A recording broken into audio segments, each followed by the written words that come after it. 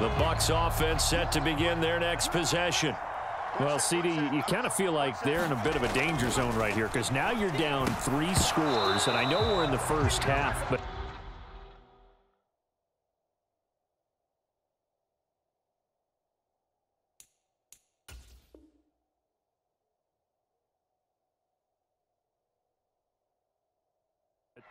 the way this offense hasn't been able to generate anything